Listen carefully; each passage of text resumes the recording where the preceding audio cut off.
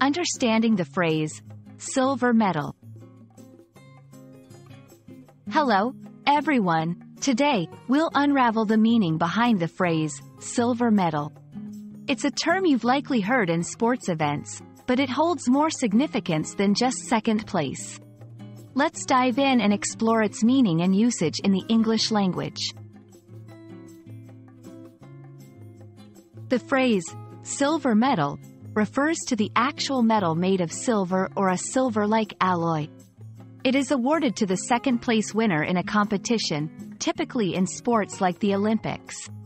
It symbolizes achievement and recognition for the runner-up in a contest.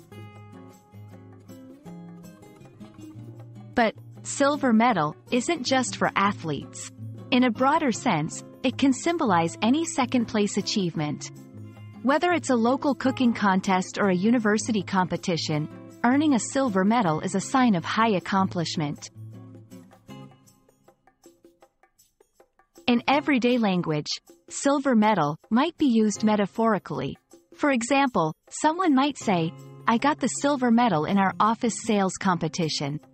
Here, it means they came in second place in a non-sporting context. The term also carries cultural weight.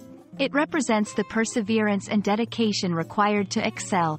When someone says they've won a silver medal, it's understood they've worked hard and achieved something noteworthy.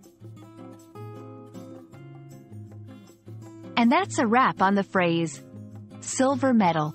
Remember, while it's great to strive for gold, earning a silver medal is a remarkable feat too. It's a testament to commitment and skill, I hope this video helps you appreciate the depth of this phrase in the English language. Until next time, keep learning and shining.